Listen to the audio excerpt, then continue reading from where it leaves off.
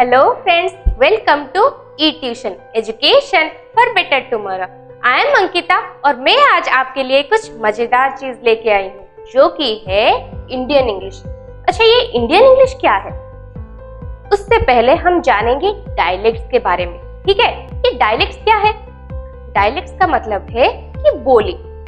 जैसे कि डायलेक्ट्स हमारे अलग अलग है मतलब क्या है? फॉर एन एग्ज़ाम्पल मैं ओडिशा में रहती तो मेरी बोली क्या होगी? उड़िया होगी। लेकिन उड़िया बोली नहीं है। उड़िया भाषा है। बोली क्या है?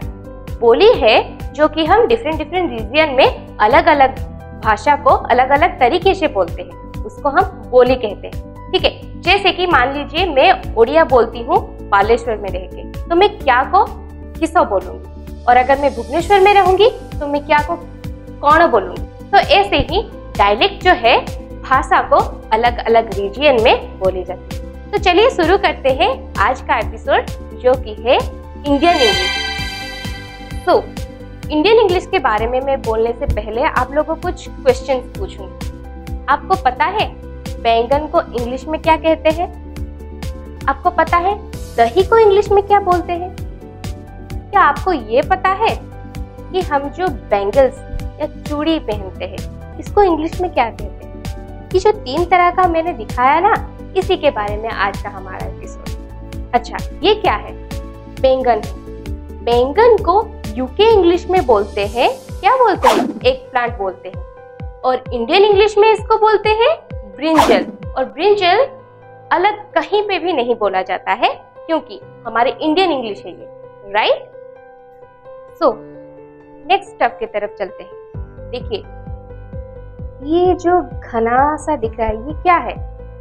जंगल है। हम लोग इसको जंगल बोलते हैं।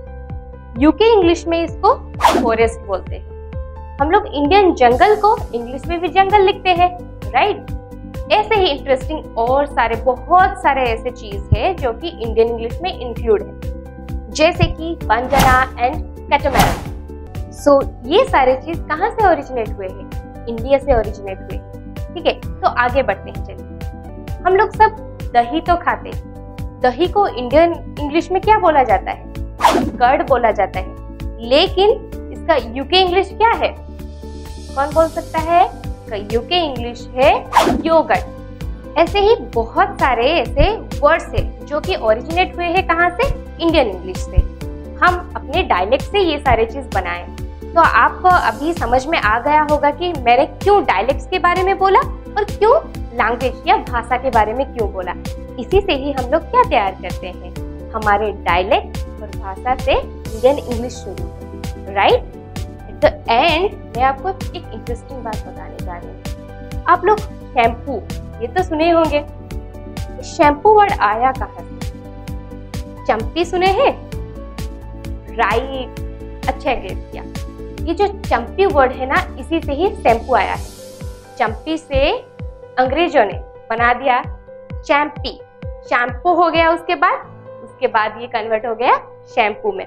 और हम इसी को अभी तक मानते हैं कि ये इंग्लिश वर्ड है, लेकिन ओरिजिनेट कहाँ से है ये? चंपी से, जो कि एक हिंदी वर्ड है।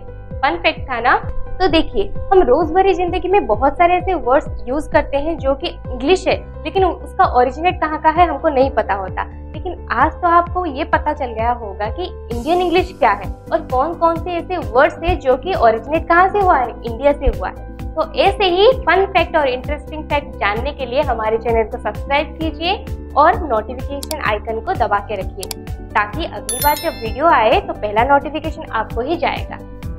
Thank you. Bye.